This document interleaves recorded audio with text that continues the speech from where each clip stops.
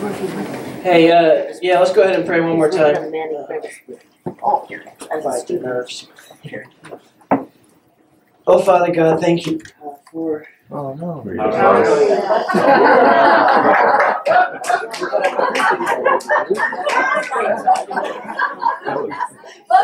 Wow. Yeah, we're gonna do this old school. Oh, it's really dark downstairs. Does anybody need to go check on the kids? Somebody do it? All They gotta right. find their way out. All right, let's pray. Father God, thank you for this day. Thank you for uh, this building. Thank you for this church family that we can come together and study your word in the dark or in the light. Uh, just ask that you uh, focus us, quiet us, and give us peace through the midst of uh, studying a, a passage of scripture that that some would find frightening but as the one who wrote it did, we, we ask that we might rejoice and have peace through it. It's in your son's name we pray. Amen. All right.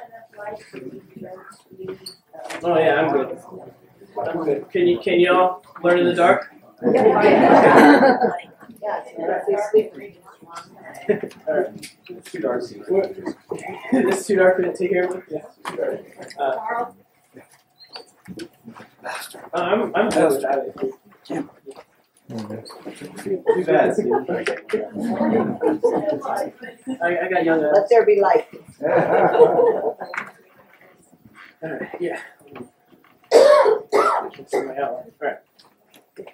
Uh, well, I went back. I'm going to break a couple of rules of preaching. First of all, you're not supposed to preach an entire book in 20 minutes, and I'm going to try and do that. And second of all, you're not supposed to change your subject three times the night before, and I did that. so uh, we're gonna. I'm just going to take you through my favorite minor prophet, Habakkuk. Uh, and he is he he's a guy who we don't know a whole lot about. It's part of why I like him. There's a little bit of mystery around him. But we're gonna read what he what he did and talk a little bit about about uh, what he had to deal with, what word he got from God, and how he responded to it. So if you want to turn to Habakkuk, we're gonna start in chapter one. And the outline for this sermon is three hows. First, how long, O God? Second, how come, O God? And third, how great is our God? And Habakkuk, his name means embrace, or some might even say wrestle. And they say wrestle because that's sort of what Habakkuk does throughout this whole book. He's wrestling with God, trying to come with come to grips with the news that God has for him, and it's a little bit frightening. And so the first first is him crying out, "How long?" Second is him asking, "How come? Why is this your answer?" And the third is him coming to the conclusion that what God says is good, and he's going to trust in the Lord. So hopefully we'll see that as we go through the text. But start in chapter one, verse one, if you can read it. Uh, I'll try and read it loud for you. It's the oracle that Habakkuk the prophet saw. O Lord, how long shall I cry for help and you will not hear? Or cry to you violence and you will not save? Why do you make me see iniquity and why do you idly look at wrong? Destruction and violence are before me, strife and contention arise, so the law is paralyzed and justice never goes forth.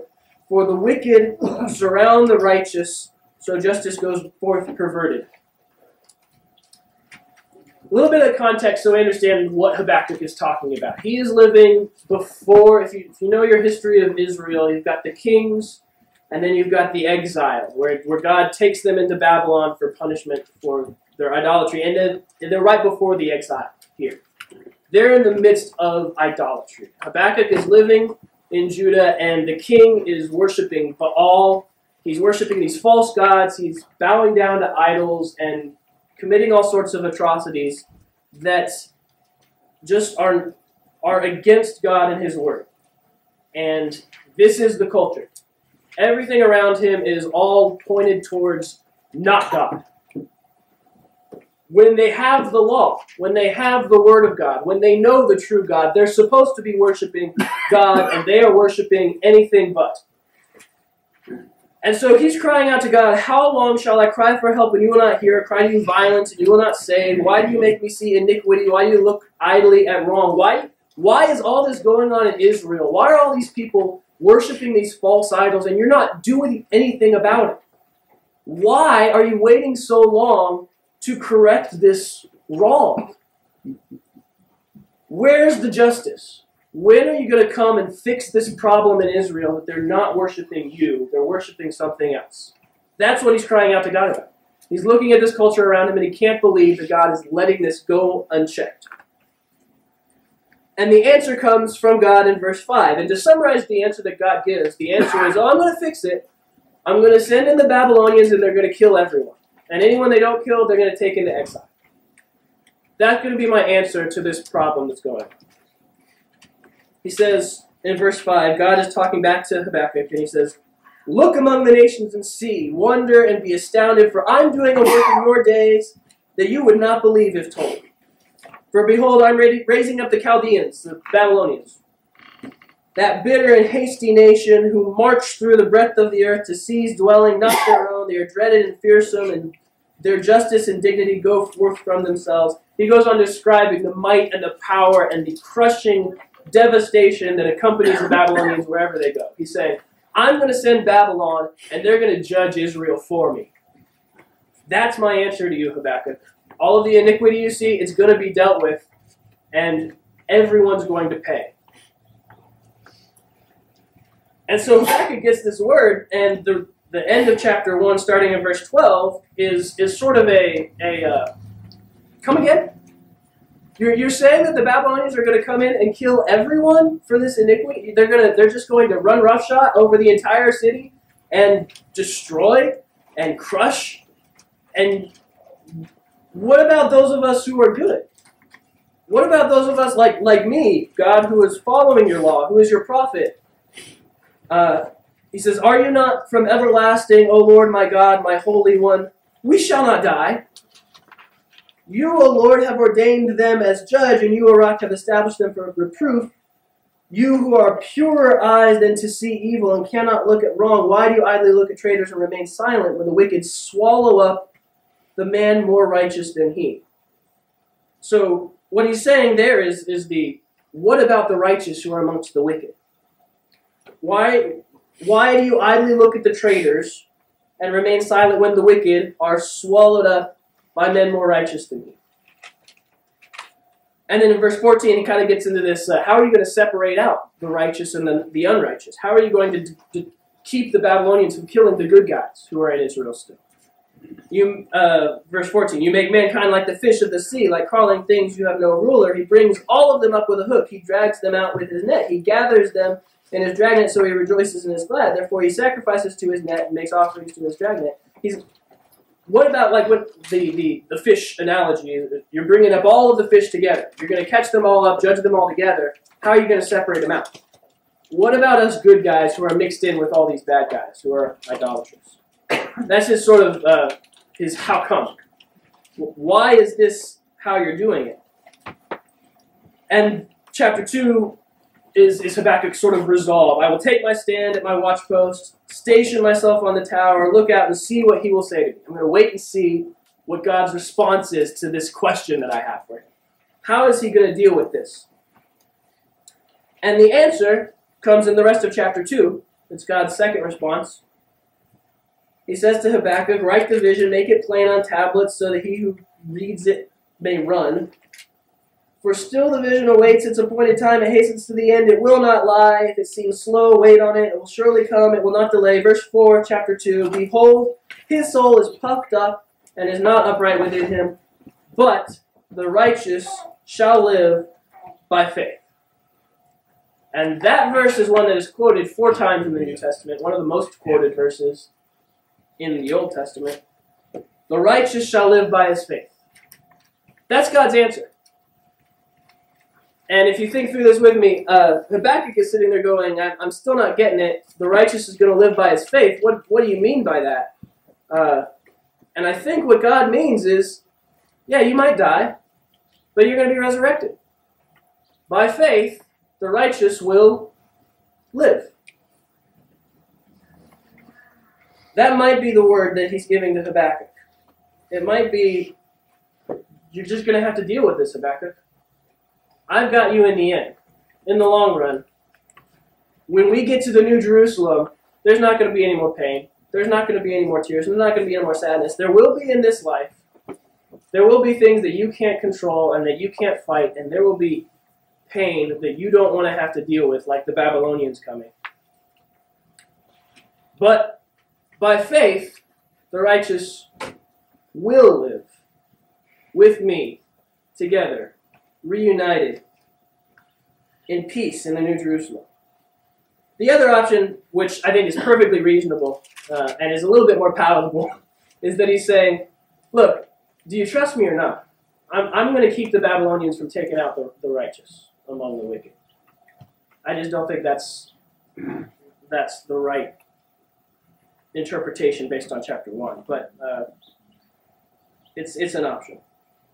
I'll leave it at that. The rest of chapter two is God going on and explaining just how devastating it's going to be again. And he, he goes with all these woe pronouncements. Uh, every four verses, he says, Woe to this person, woe to that person, woe to this person. All of these different sins that Israel is guilty of. Woe to him, woe to him, woe to him. And that's that's a that's that's a funeral cry. That that woe to him, that's a common thing that back then that, that's what you would cry over a funeral. Woe to the man who just died. And it's this this pronouncement of woe on Israel.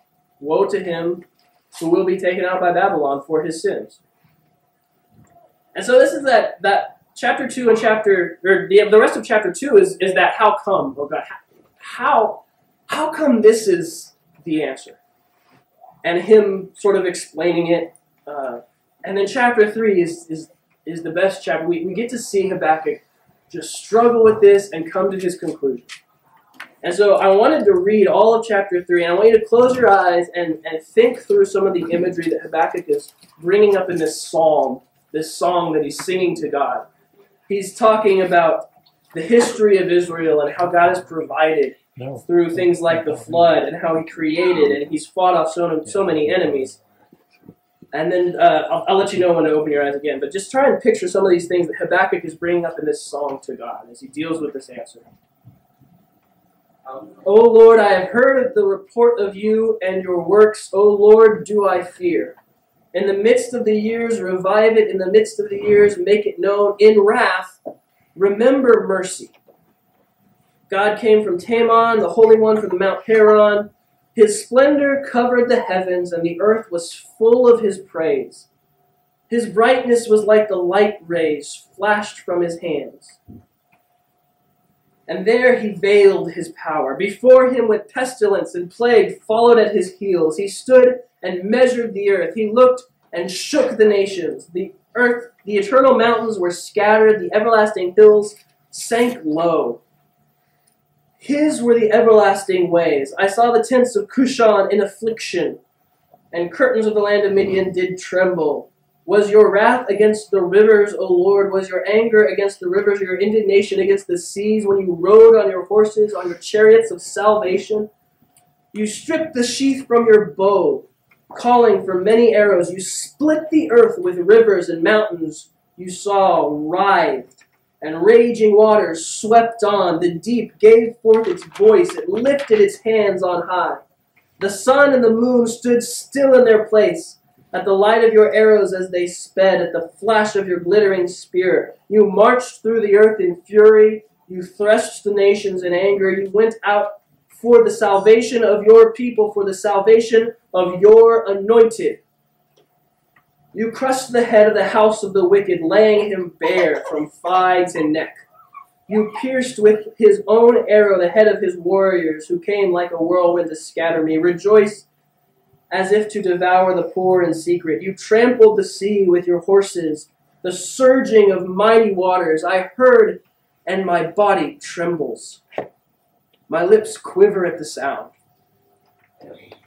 Rottenness enters into my bones, my legs tremble beneath me, yet I will quietly wait for the day of trouble to come upon people who invade us. And this is where we really hear his resolve.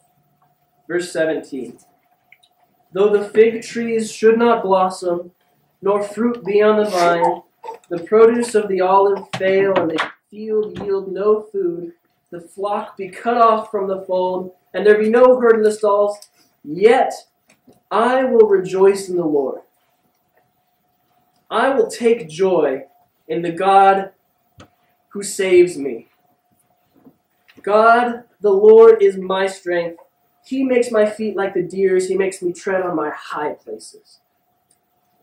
And that's where I kind of want to focus in on. The chapter three is all of the how great is our God, and verses 17 through 18 is where we really hear the trust. We heard him describe these terrifying things that God has done, sweeping through different uh, war imagery, things with the raging horses trampling down these. And you can go ahead and open your eyes. Verse 17 Though the fig should not blossom nor fruit be on the vines. He's describing, even if in those situations when we feel low or we feel weak or there isn't much abundance, when it seems like God has abandoned us from our perspective. When, when we're struggling with our finances, when we don't have the health that we want, he describes it here with, with agriculture terms, right? The fig not blossom, there's no fruit, there's no olives to make uh, oil, there's no food in the fields, there's no flocks. Yet, in those situations, what is his response? I will rejoice in the Lord. I will take joy in the God of my salvation, the God who saves me. Even in the lowest of times, we know that God is who He says He is. He says that He is good and that He saves. And that is what our faith is. That is what our hope is. We believe that God is who He says He is and that He saves. We can rejoice in the hard times because God has good times coming. And it might be after this life is over. Like we were talking about, when this when the shadows of this life are gone, I'll fly away to a land on God's celestial shore. God the Lord is my strength. He makes my feet like the deer's. He makes me tread on my high places. That is the hope. And I I have to share this this uh, story. Yesterday, a group of us climbed School Marm. And uh, but there were six of us going, and one of our buddies, Nathan, uh, he, he's back there waving. He uh, he had a little bit more trouble, uh, and so he said, "Go on. I'm going to enjoy the views. Like I'm going to go my own pace." And I, I I've been in that situation where I wanted the group to just go ahead of me so I could I could go my own. So I was like, "All right, we're going to take him at his word." And, uh, we'll we'll make sure we can see him, but we'll let him go his own pace. And uh, he got up to the rocky part. And the rest of us were on the top waiting. And we're waiting and we don't see him. And eventually I hear him cry, crying out, Hey guys, I'm I, I'm ready to go back down. He's right over the, like we know he's right there, but he's not coming up. So uh, all right, we're gonna come around the back and we'll come and, catch you and we'll, we'll go down together. Uh, he's a little bit higher up than we than we thought, so I, I cut across and I'm I'm I'm there and I get to him and he is frightened. Uh, he he's got himself in that situation where it's like I don't know how I got up this high, and I don't know how I'm gonna get down. I can't go up and I can't go down. What do I do? And he needed somebody there. He's an able he's an able guy. Nathan can take care of himself, but he needed somebody to just guide his feet down and talk him down. You, you got a, you got a spot right there under your left foot, down down about about six inches. You'll have a foothold, all right. Right foot, take it down here. You, and we just talked him down off that rocky part. Uh, the rest of the group went on. It was me and Nathan working down the mountain until we got to a place where we were on level ground. And then uh, we were taking deer paths across the side of the mountain to get back to, to the ridge to get, get down Skull Marvin. The rest of the group was down down on the base, and I'm sitting there walking along the deer paths, and I go, I finally understand this version of Habakkuk. He makes my feet like the deer's. He makes me tread on my high places. They, they're just prancing up those paths. And we're sitting there trudging. when you have that that rejoice, that faith, that trust that God is good, even in the in the terrible times, uh, he ma- he makes our feet like the deer's. We can just prance up those paths. We can be confident in expectation. At one point, Nathan, uh, he was he was getting worried and uh, getting a little anxious, and at one point he said, "My goodness, God is good." And that's exactly what I needed to say. That is the hope, that is the faith, that is what we need. That, that is what our faith is in.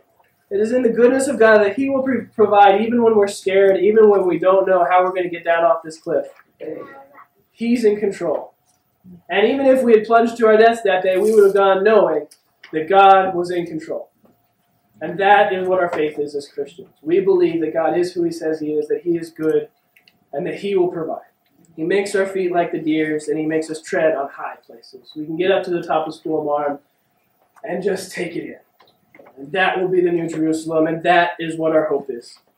So, the next time you're reading the prophet Habakkuk, remember how long, how come, and above all, how great is our God. Let's pray. Father, thank you so much for this word, for this, this man Habakkuk who struggled with a difficult word from you and came out faithful in the end. And uh, let us do the same. Let us trust in you in the good times and in the bad. Help us to be content when we are hungry, when we are well fed, knowing that Christ is our salvation. Always, always, Father, let your will be done above all else. And it's in your Son's name, by the power of the Holy Spirit, we pray. Amen. Amen. All right. Josh is going to play his guitar quietly and sing really loud. Ross is on the quiet guitar. Am I on? There's no power. Yeah, yeah, you're I on. want to Go. you know, I don't think Steve